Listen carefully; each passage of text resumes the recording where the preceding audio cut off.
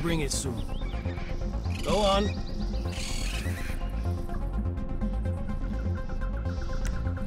Just because you are disguised as smuggler does not give you free access.